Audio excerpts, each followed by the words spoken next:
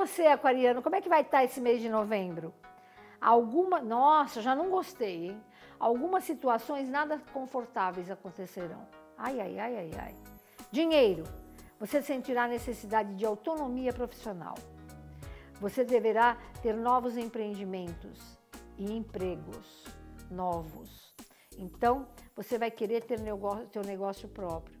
Você vai achar que não é legal, uh, não está legal como está. Eu, eu não mudaria de emprego esse mês, não, que você vai se arrepender. Não faça isso. Faça algo paralelo, ok?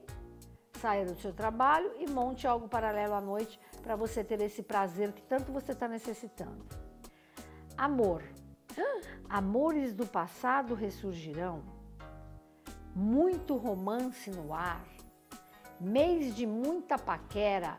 Mês de novos relacionamentos. Mês de novos amores. O banhinho desse mês é o chazinho de arruda. E o salmo é o 42.